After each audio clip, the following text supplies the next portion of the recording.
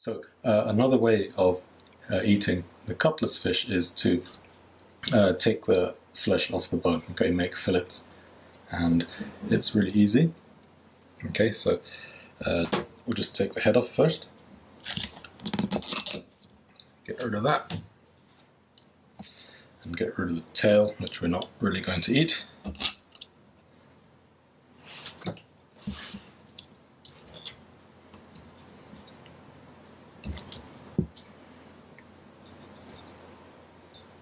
And the internal organs.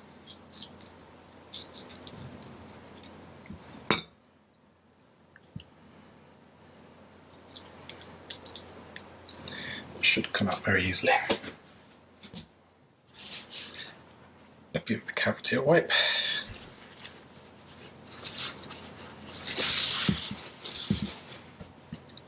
So uh, the the tachiuo have this um, this large fin their dorsal fin, which actually extends um, basically the length of their body. Okay, and that's actually attached to um, a set of bones um, inside the flesh. We're going to take that out.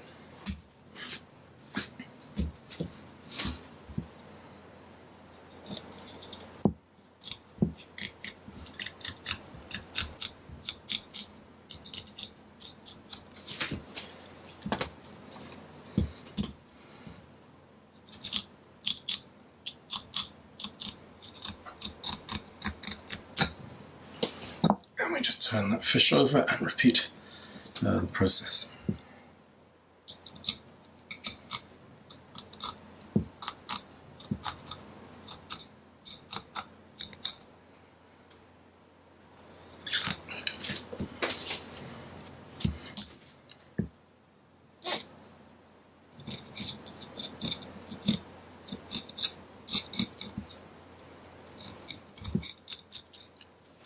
So, you should, having done that, be able to just pull this fin uh, off the fish, like so. Okay. Obviously, we're not going to eat this part. So it's still attached here. I beg your pardon. Okay. And now, um, it's just like dealing with any other sashimi. We make uh, guideline cuts on both the abdominal dorsal side, and then just uh, just peel the, the fillet off like that. So let's do it.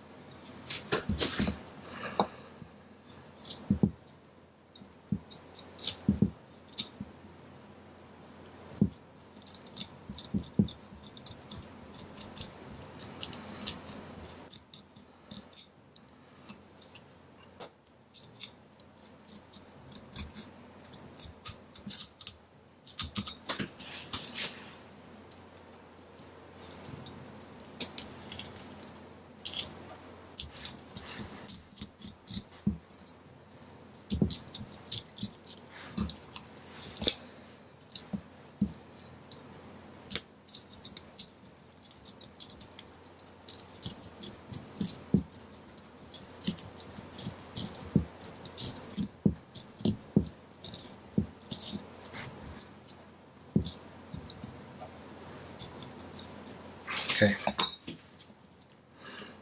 one fillet. Okay, that's fish now turned over. We'll do the same thing.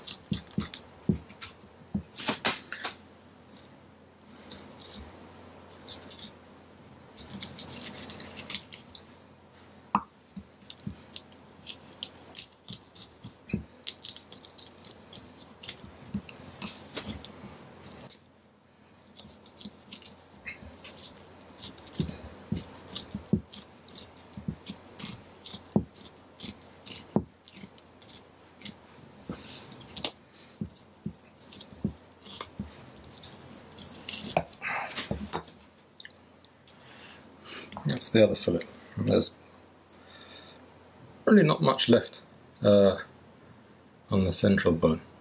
Okay.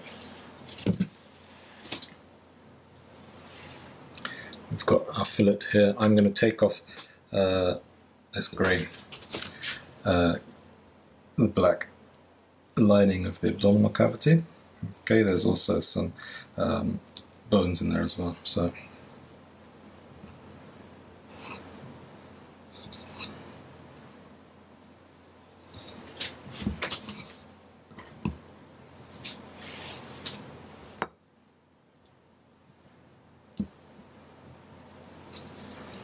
And then we'll do the other side.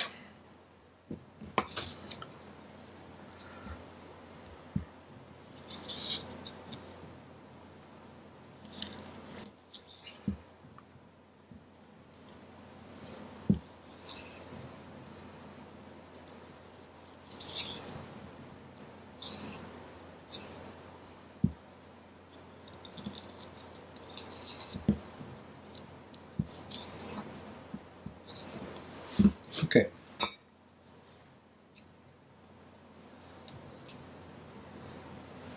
So, uh, those are our tachiuo fillets.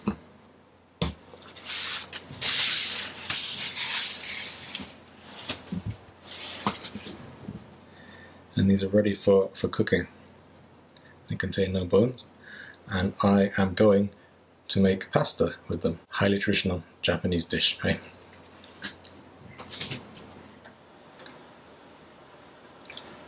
Okay, let's get to work. This is a really simple recipe, and you'll need just a clove of garlic, a quarter of onion. Okay, we're just going to bash the garlic slightly on the blade, and then slice the onion uh, just into thin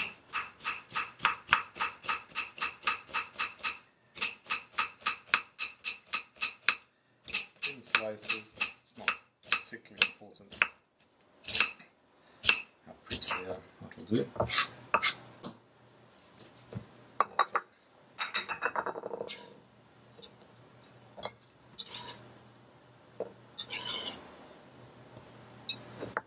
Okay.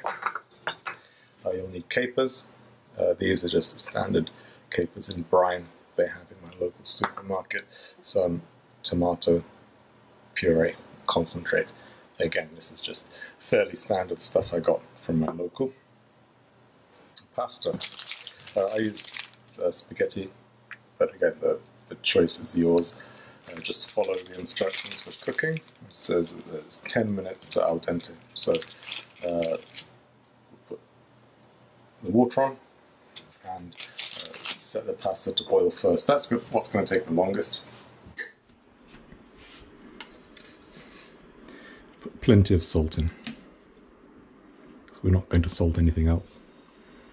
Uh, any other ingredients. And we will use the pasta water uh, for the final sauce as well. So make sure you use plenty of salt.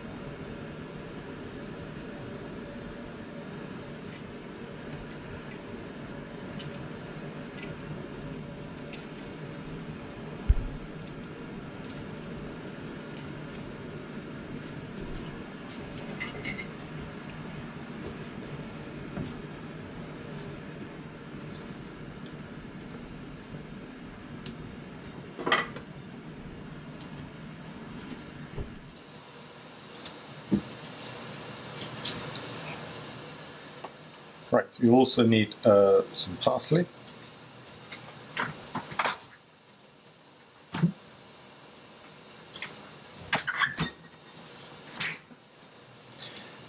I got this out of my garden uh, this morning, and we'll just chop it nice and fine.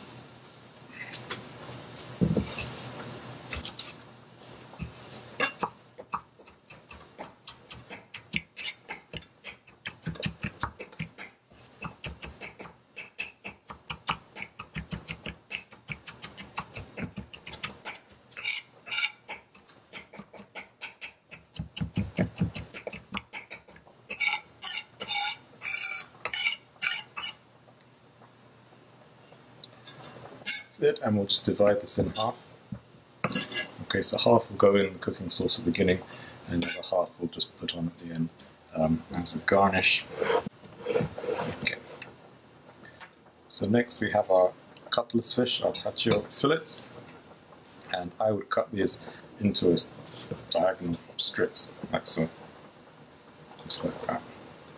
And I think they will probably break up partly in the pasta sauce, but it's okay.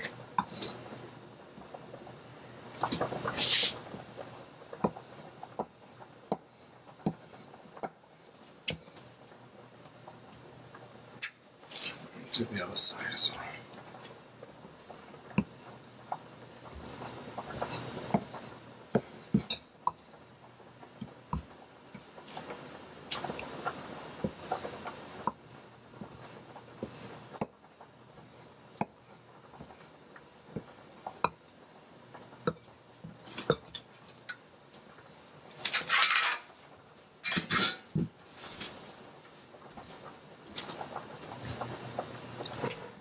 And I would also add at the very end uh, some lemon.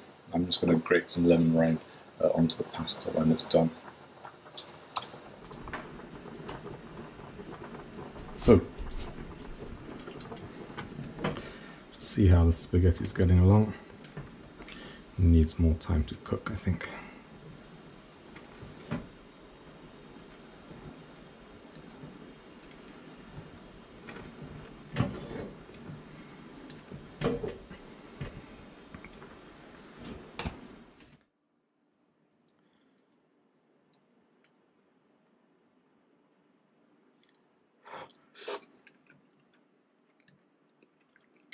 Okay, the pasta's nearly done. So we'll get to work on the sauce.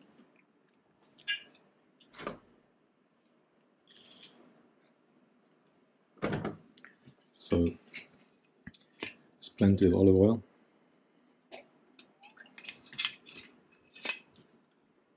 Put the heat on. Okay.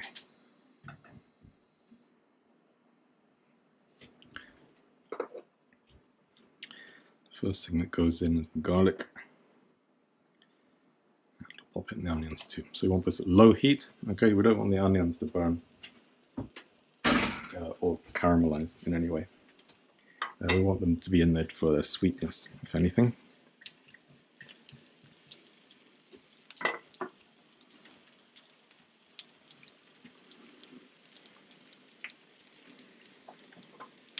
Just keep them moving.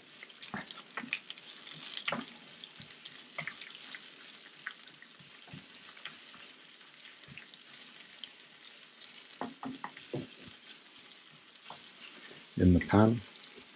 Keep stirring our spaghetti. It doesn't get stuck on the bottom of the pot.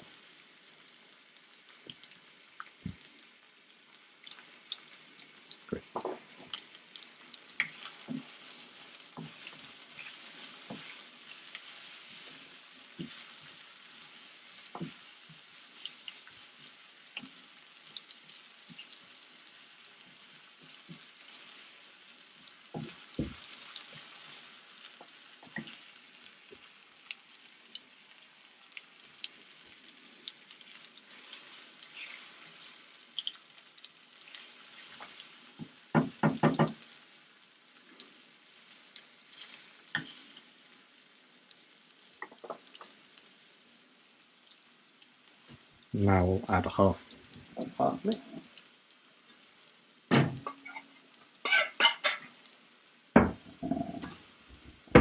And a teaspoon of capers. Possibly the smallest jar of capers in the world, and possibly the smallest spoon. We'll just get some. You might want to chop these up if you like. I don't think it's that important. We'll stick them in. It doesn't matter if some of the brine gets in there as well and we'll just keep it stirring. Mm.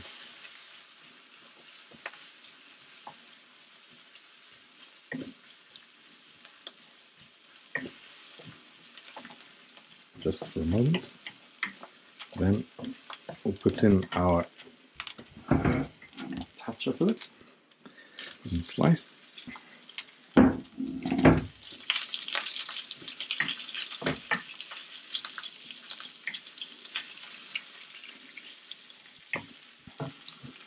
And check spaghetti once more. You don't want the spaghetti to be overcooked. Okay. Mm, very nearly done. I'll put the heat to low, actually. Now,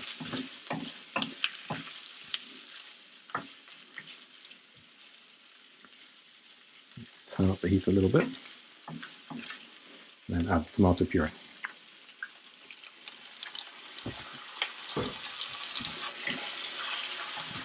Mm. That's nice. And then some of the pasta cooking water, maybe just one ladleful to start with.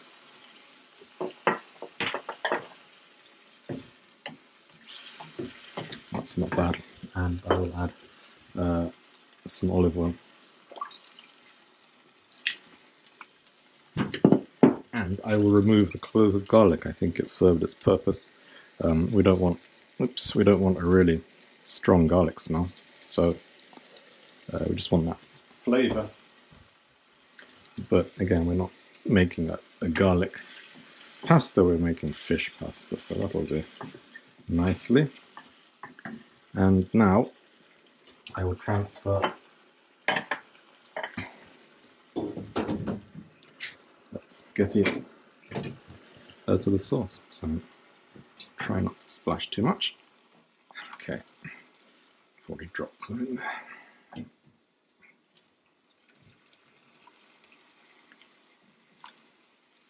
Okay, there we go. I think I've got most of it.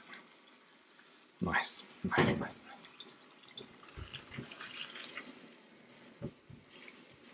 Now we just want to mix the two together, the sauce and the pasta. You'll see the touch of uh, slices are kind of breaking up a bit, but it's all good. It's okay.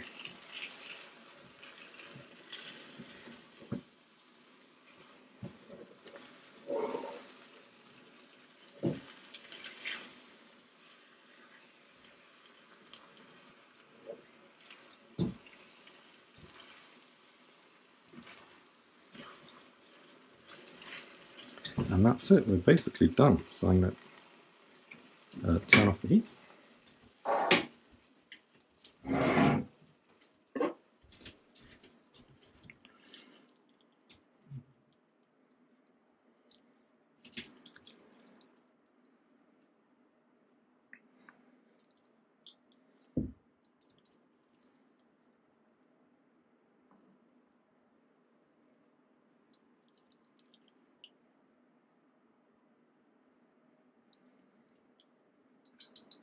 Okay. Then use a just put just a little bit of this delicious caper and fish tomato sauce over the top. Okay. Maybe a bit more. right. Right. Put the rest of our parsley on top. Okay, maybe that's probably enough. And then use the microplane, put some lemon rind, lemon zest on here. The microplane is probably my only concession to hipster cooking. It just does the job really well, so I'll just pop some on.